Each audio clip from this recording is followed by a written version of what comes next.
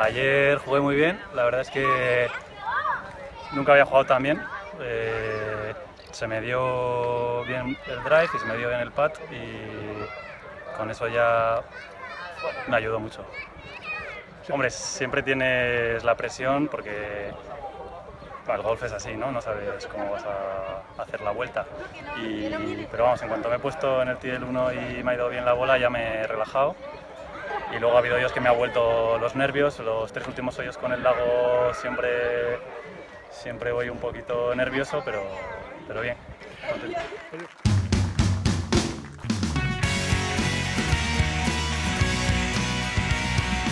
Bueno, pues significa eh, el resultado que has ido haciendo durante todo el año y dar las gracias a mis profesores y al campo por haber dejado en plan, haber dejado que juguemos este.